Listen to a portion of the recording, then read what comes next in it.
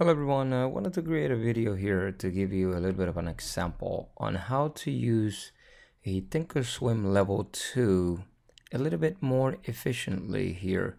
Uh, I know that the level 2 on Thinkorswim could be a little bit complicated and it's after hours now. It's a little bit late. It's 7:48 at night. And the reason why you see here that there is no uh, orders going through on the time and sales is because uh, I am using the on-demand uh, feature of the Thinkorswim platform to create this video for you.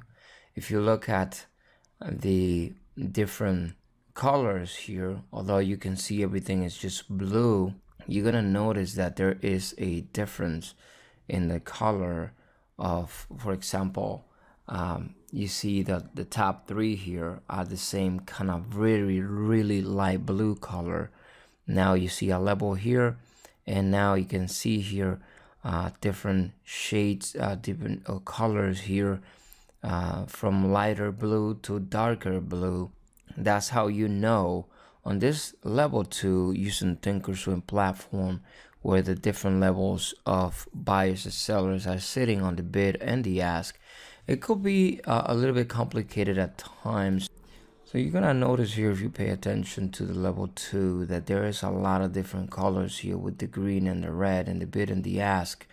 Uh, different than just looking at, for example, uh, where I have my mouse right here, you can see how light it gets right here on the bid and also on the ask. It has a lighter uh, blue and a darker blue down here those are the different levels where the people are sitting the buyers or the same 33 31 for example. Different levels. It seems like it'll show you there uh, depending on how light you see the blue or how dark you see the blue. Those difference on the colors are the different levels of people the buyers the sellers are sitting in the bid and the ask. Uh, in the time that I've been using Thinkorswim platform too I've noticed that when you see red and green here on level 2 it shows you where people are trying to buy or sell at the bid. For example if you see a lot of red people trying to sell right at the ask here.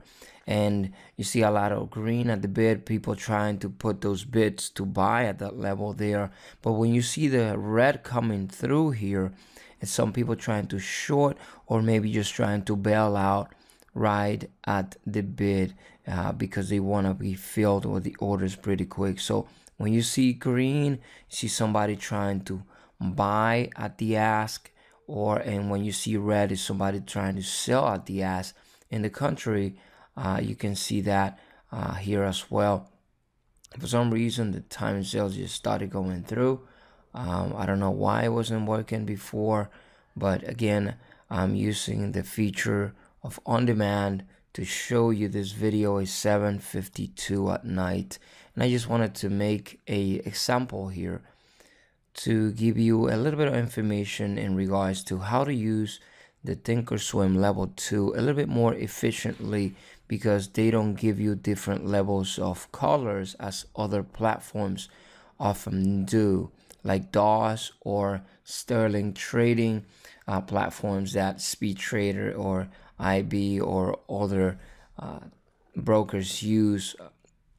They have different levels of colors here to show you really how many buyers or sellers are setting or sitting at a level. Here you have to pay attention to how dark the, the blue is or how light the blue is to recognize how many buyers or sellers are sitting on the bid and the ask at different levels. I hope this video was of any kind of help to you.